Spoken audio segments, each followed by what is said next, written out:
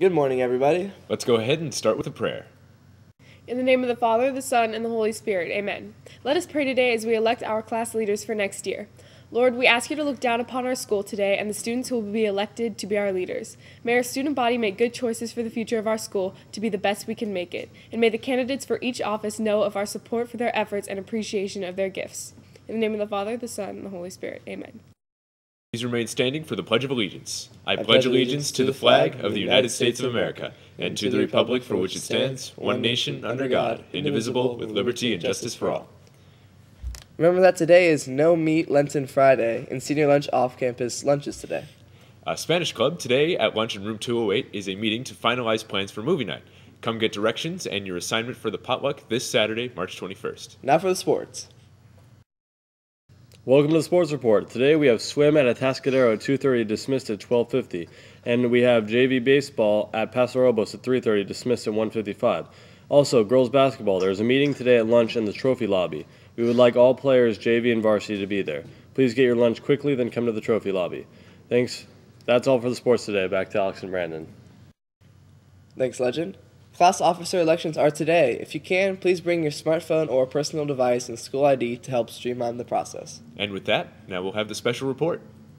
Hey guys, welcome to the special report. We're here to update you on March Madness and how the school-wide bracket is going so far, so pay attention. We had some big upsets yesterday. The 3 seed Iowa State was upset by a 14 seeded UAB. Only two students in our group picked this game correctly Chance Keegan and Alex Van Dolen. Congrats on an amazing pick. So disappointed. Another big upset yesterday. The number three seed Baylor lost to number 14 seed Georgia State. I picked Baylor to win. Three students picked this game correct Will Spence, Chris Ramirez, and Chance Keegan. Oh wow, gosh, Chance is picking some real upsets, huh? Yeah, come on, Chance. In the school-wide group MCP March Madness, we have three students at the top of the leaderboards. and so Saprinsky, Keenan Albin, and JT Crossa have 130 points after picking 13 of the 16 games yesterday correctly. You guys are in the 98th percentile of all brackets entered into ESPN's challenge, so congrats on that. That's amazing. There's a lot of people with 120 points, just one game behind, so we'll see how it turns out after today's games. I, I only have 100 points. Congrats, guys. Back to the anchors. Those are some good looking guys out there. Uh, peer mediation. There is a meeting scheduled for Tuesday, March 24th at 7 a.m. in the art room. Please let Mrs. Conway and Mrs. Perucci know if you're unable to attend. Uh, the spring dance is today, the Big Island dance from 8 to 10 p.m. There will be a limbo contest and you can win a prize.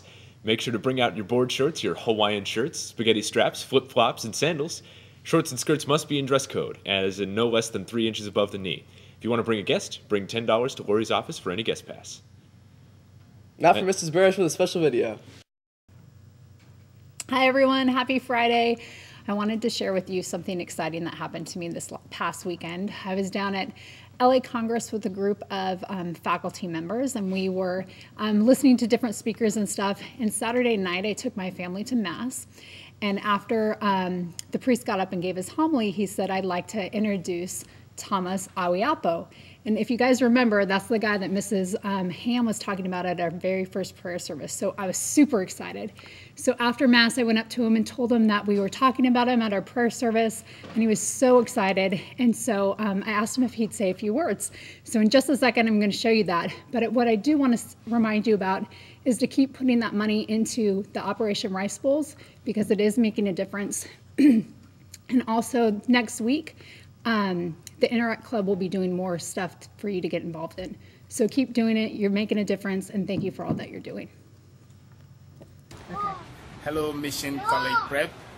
I just want to say thank you. I hear you are doing amazing things for CRS Rice Bowl, and you are changing lives and saving lives. I just want to say thank you. God bless you. Keep the good work. Thank you.